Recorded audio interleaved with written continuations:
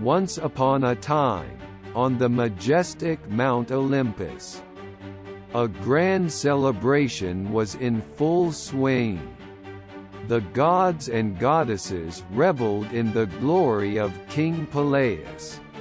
And the beautiful sea nymph Thetis' wedding. Laughter echoed through the heavens, and the air was filled with divine music. However, amidst the joyous festivities, a sense of tension lingered. Eris, the mischievous goddess of discord, seethed with anger. Denied an invitation, she vowed to disrupt the merriment, and sow the seeds of chaos. Her eyes gleamed with mischief as she devised a plan to bring about the legendary judgment of Paris. Eris cunningly crafted a golden apple, radiant and enchanting. Inscribed upon it were the words, For the fairest. A declaration that would ignite a fierce competition among the goddesses.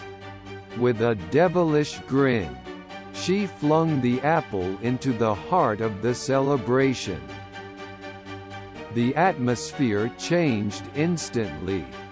The music faltered, and the gods and goddesses stared in astonishment at the glittering object rolling before them. Hera, the queen of the gods. Athena, the goddess of wisdom and warfare. And Aphrodite, the goddess of love and beauty immediately recognized the significance of the golden apple. Hera's eyes blazed with authority as she stepped forward. Confident that the apple would be hers. Choose me, she proclaimed, and I will grant you power and dominion over all mortals.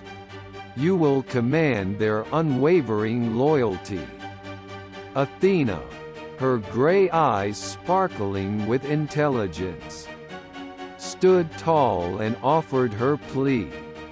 Paris, if you select me, she declared, I shall bestow upon you wisdom and strategic brilliance.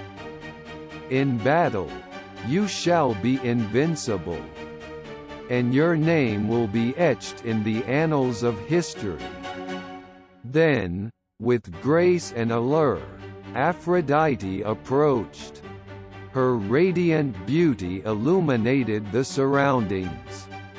And her voice dripped with irresistible charm.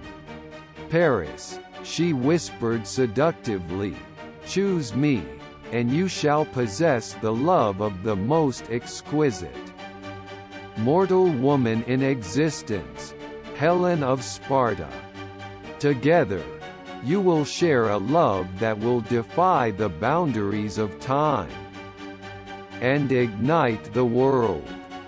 Paris, a Trojan prince known for his fair judgment, found himself caught in a whirlwind of temptation. Each goddess offered a prize of immeasurable worth. How could he possibly decide? As he pondered, Paris's heart quickened, and his mind swirled with a mixture of desire and responsibility. The weight of his decision was immense. Finally, he stepped forward and pointed to the enchanting Aphrodite. Aphrodite, Paris announced, his voice quivering with anticipation. Your promise of true love calls to my soul. I choose you as the fairest of them all. Aphrodite's smile widened, and a triumphant gleam danced in her eyes. She graciously accepted the golden apple its radiance matching the brilliance of her victory.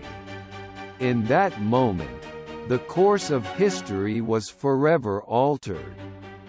The consequences of Paris's choice were swift and far-reaching. Helen of Sparta, the embodiment of beauty and desire, was spirited awe